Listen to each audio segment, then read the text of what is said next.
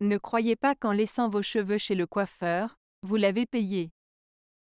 Proverbe turc. Ce proverbe signifie qu'il ne faut pas considérer qu'un service est payé simplement parce qu'on a donné de l'argent. Il est important de vérifier que le travail demandé a été effectué correctement avant de considérer que tout est réglé. En d'autres termes, le paiement d'un service ne garantit pas toujours sa qualité.